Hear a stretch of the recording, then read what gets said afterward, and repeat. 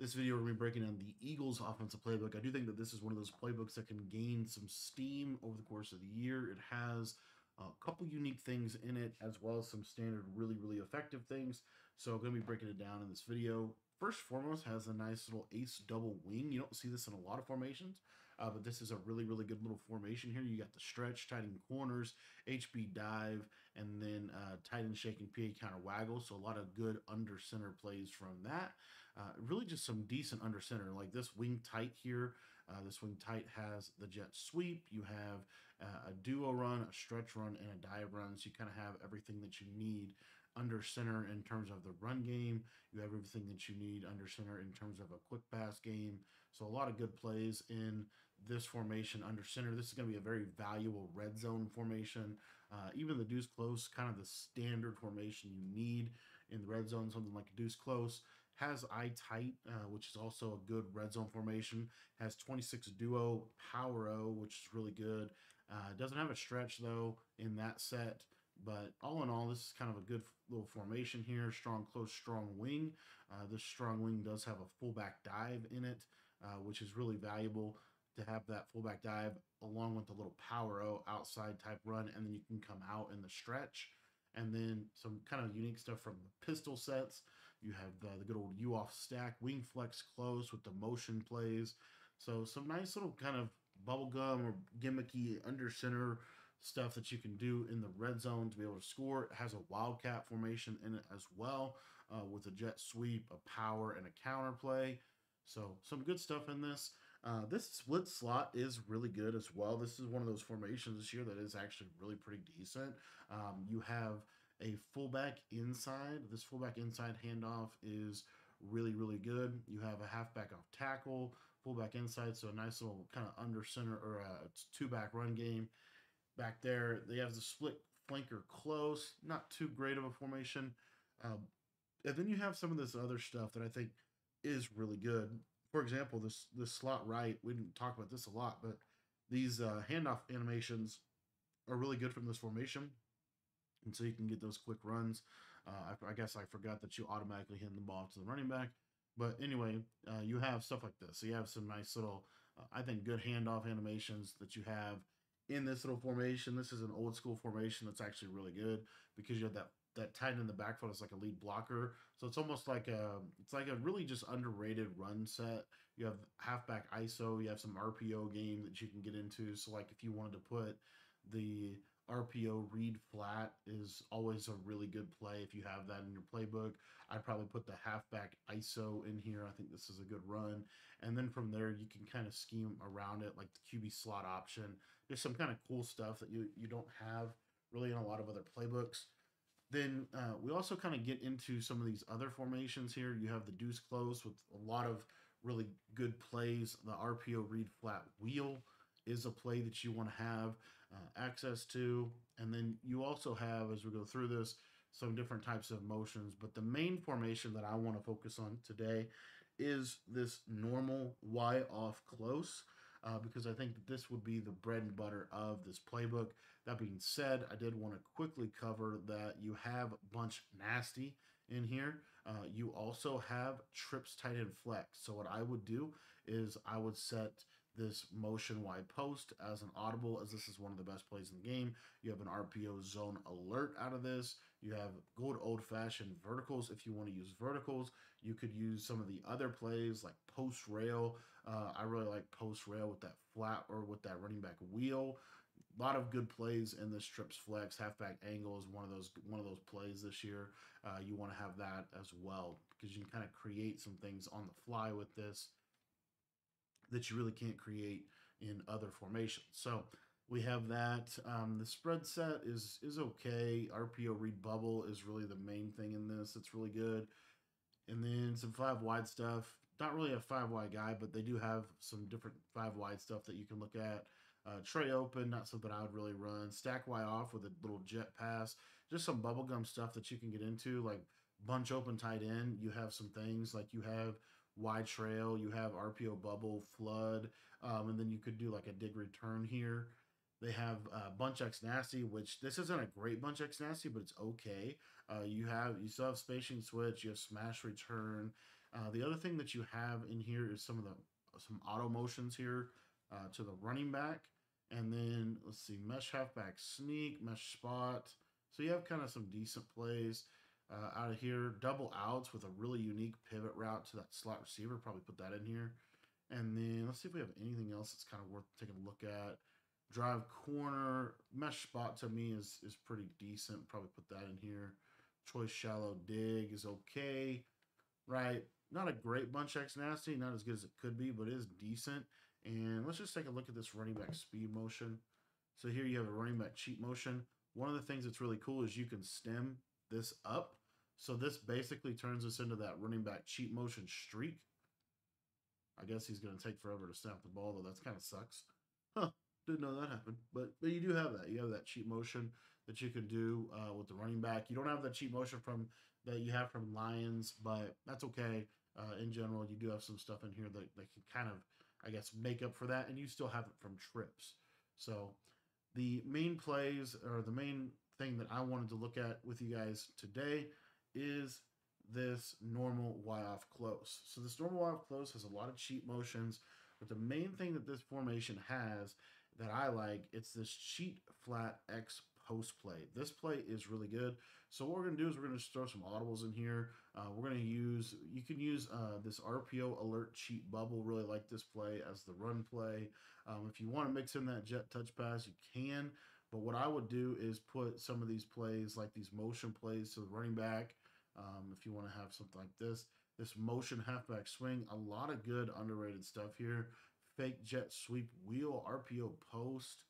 Uh, let's take a look at the cheat tight end angle here. RPO cheat bubble. We have Y sail, and then we have PA snag, and we're going to really look into this cheat flat post, as I think this is probably the best play in the formation. So the reason that I like this offense a lot is because of this this um, these sharp cutting post routes. So if you take a look here on this outside, you see how we have these post routes. Let's just say that I hot routed a post. So let's say I put like a regular hot routed post. I'll just put it on tight end.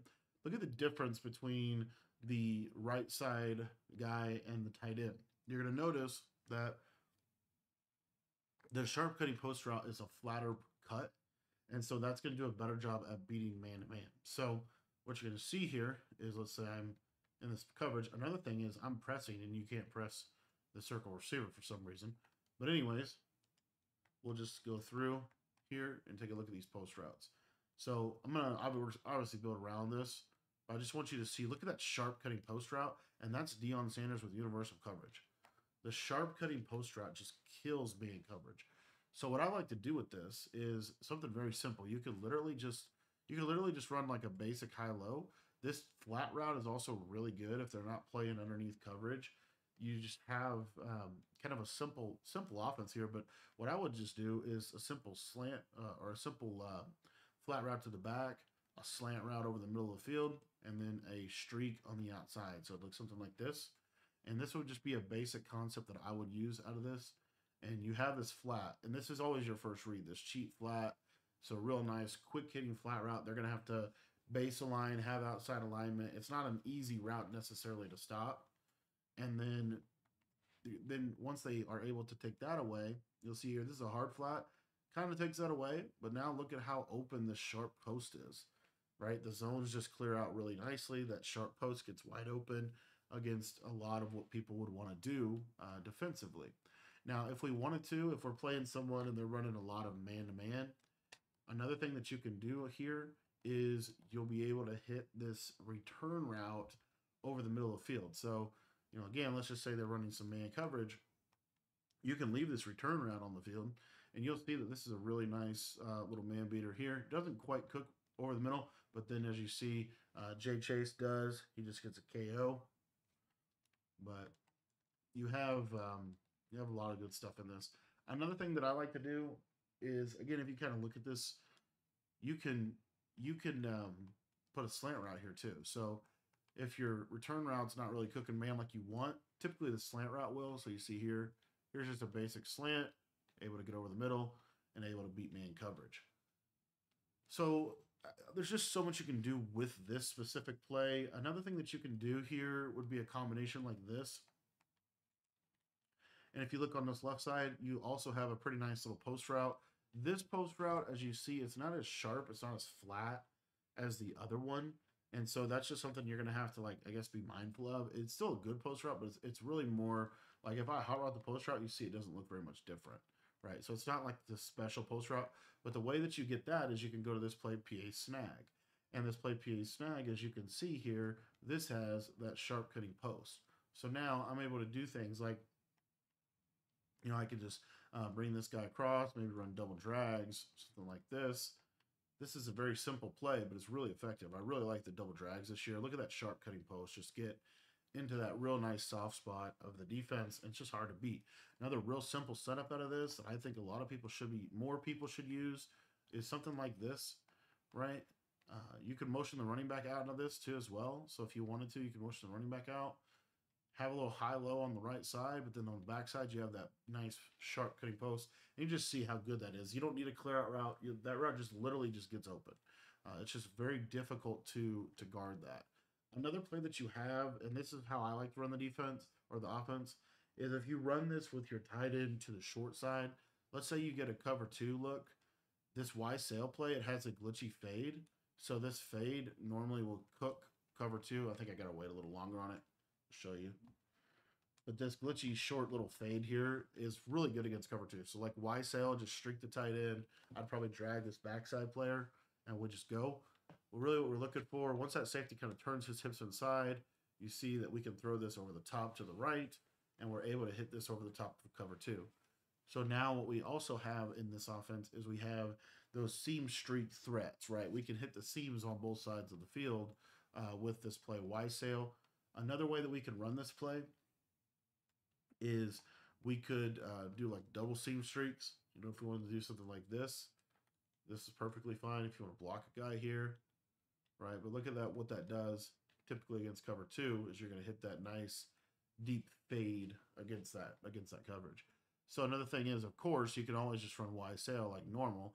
Uh, I'd probably stem the tight end corner down one tick like so, and I'd probably have a backside drag, and basically just ball like this, and you'll see that that tight end corner. That's crazy that I got shed that bad, but you'll see that this tight end corner is going to have to be switch stick too. What you see here. See how clean of a clear out that is? Super nice flood play. So we have that to attack that right side. Um, another thing we have in here is this cheat tight end angle play. Uh, this this cheat tight end angle play is um, kind of interesting. But if you just watch how this tight end angle runs, you see it's like a quick shake route over the middle of the field. This is going to be pretty decent against man to man. So again, these you know kind of staying true to form here, but the cheat motions give man to man a lot of issues. You'll see that here. So you see here, watch that little shake over the middle. Look at that man coverage just get roasted. Linebacker doesn't have a chance. That's wide open over the middle. Easy read. And so you can kind of scheme around that cheat angle. So like one thing I might do would be like a streak, come back, and then maybe I'd take on this right side. We could either post this guy, we could do a corner and a high-low read like this you know, however you want to, however you want to kind of put this together. But in general, having this little cheat route over the middle just kind of gets in a soft spot. It's got to be usered. And so because they have to user it, this is the important piece, because they have to user it on this cheat tight end angle play, now we just put some routes around it that we like. So it could just be something as simple as this, really. And if you take a look here to the right side, we're being able to attack kind of this throw right here against most zone coverages, right? So a lot of things we can do within this. Um, another play that I like is if we can we can take this return route, stem him down too. But another thing that I like to do out of this is just a table route to the running back. We'll streak the outside guy and run the play like this. And this just spaces the field out really, really well. Again, look at this flat route quick. If that's there, you want to take advantage of that. Um, that can also, let me just show you real quick. That can also give man to man some trouble. So, I'll show you. If the tight end route, watches tight end quick, just quick throw, boom, gets man coverage. It's just hard for man coverage to play cheat motion. this year, and so you have that always within this play. Another thing that you have in this cheap motion is you have this RPO cheat bubble, which you can stem this out route all the way up or all the way down. And basically what we're looking for here is this bubble. Uh, this bubble is really the main thing we want to hit. And then what can happen is, let's say, for example, they're getting a little aggressive and, you know, maybe they're blitzing a lot and they're, you know, playing some, playing you up in press man to man.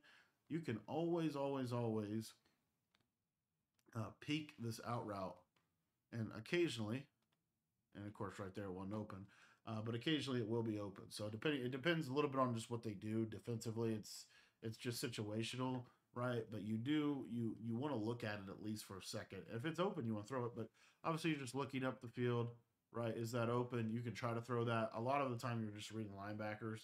Um, it's really more something for like a heavy set. It's also more something for the red zone.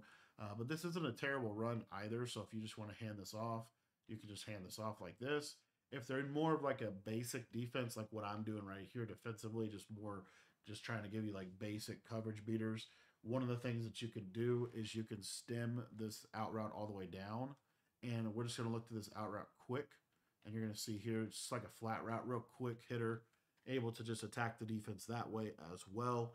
And then again, going back to PA snag, I think, you know, PA blocking is really good this year.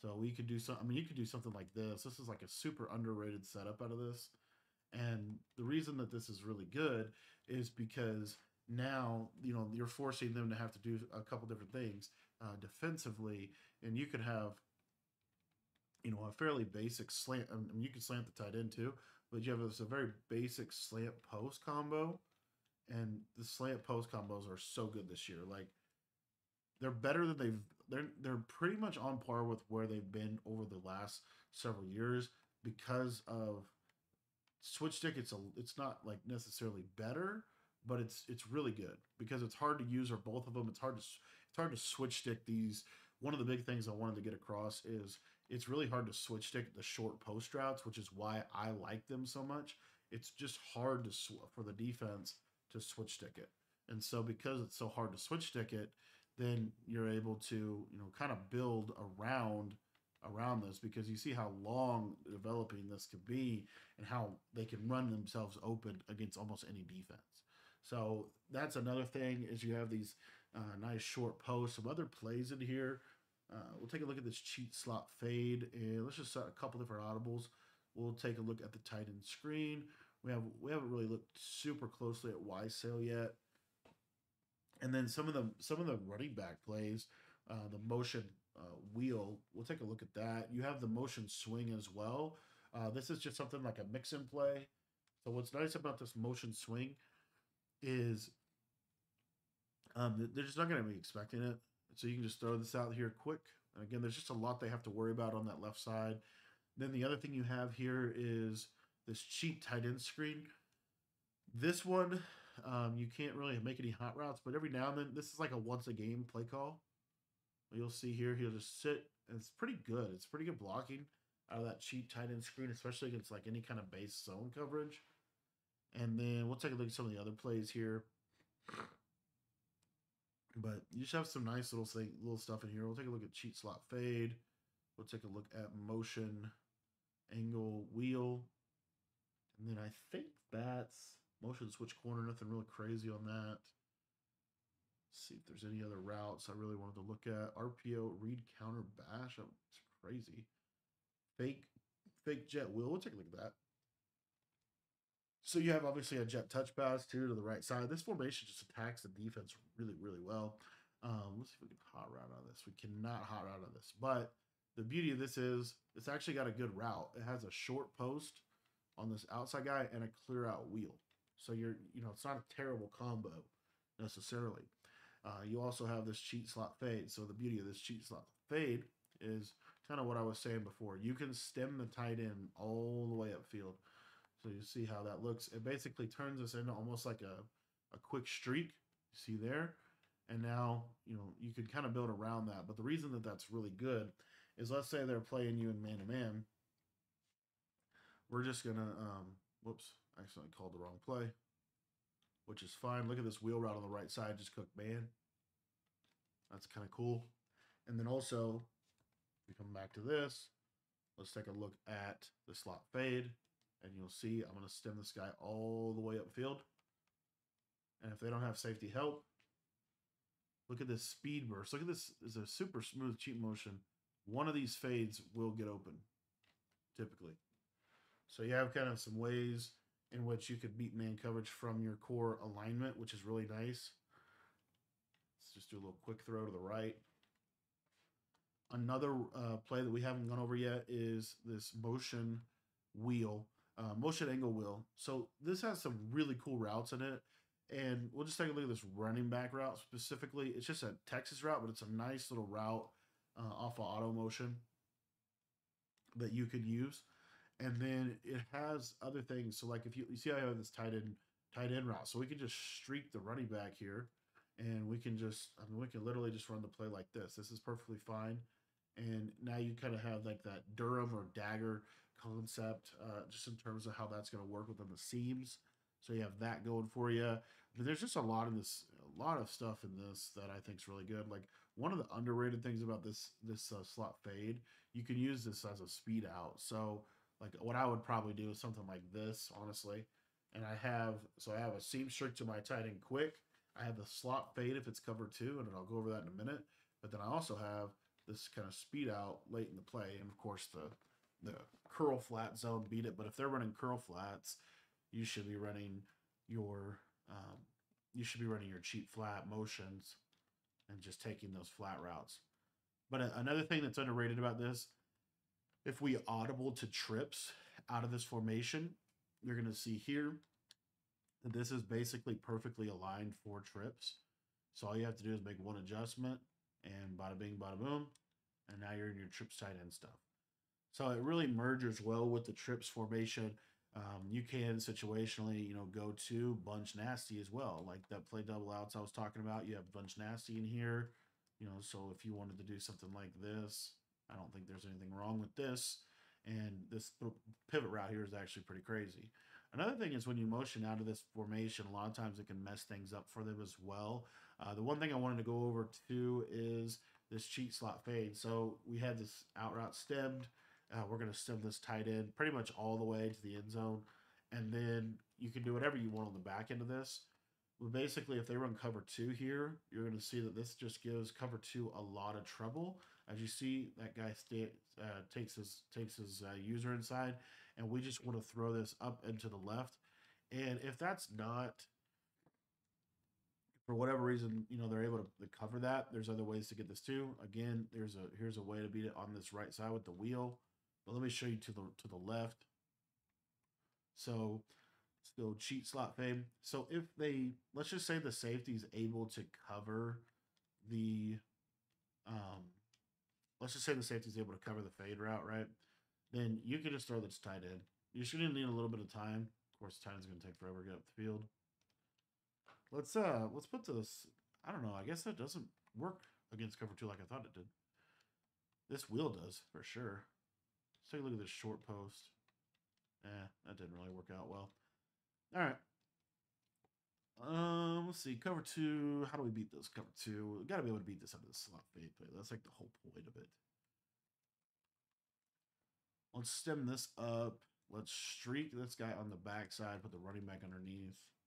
This is like a super vertical attacking play.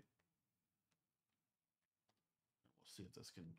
This has to be able to do something to cover two, I would think. That should be open. Yeah, it's like a tighter throw, but if you if you really pass lead it to the left, you should have something over there on that left side.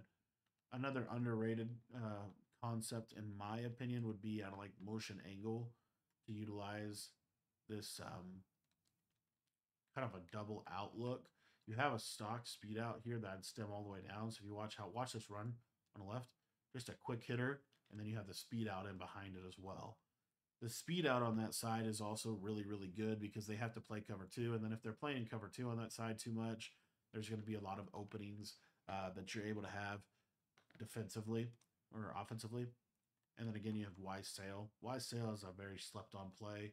Uh, real simple setup here. Just slant the tight, or uh, you can run it like this as well. Don't see anything wrong with this setup. You can slant the tight end, and you see how this just gives a lot of coverages really big issues. So this is the normal Y off close, and this is out of the Eagles playbook. Really like this formation right now. There's a lot of things that this formation does really, really well, including uh, basically being able to manipulate a lot of coverages. And then simultaneously, when they start going to more of like your backed off coverage, now you're able to do things like hit your short posts kind of in really soft spots against the defense. It's very difficult to switch stick. So if you guys want a full breakdown on this offense or any of the offenses that I talk about, make sure that you join our Skool community. I'll put a link to that down in the description below. For just 10 bucks, you can get access to all of my offensive and defensive ebooks. Thanks for watching the video and to sign up for Skool, head down to the description and click the link down below.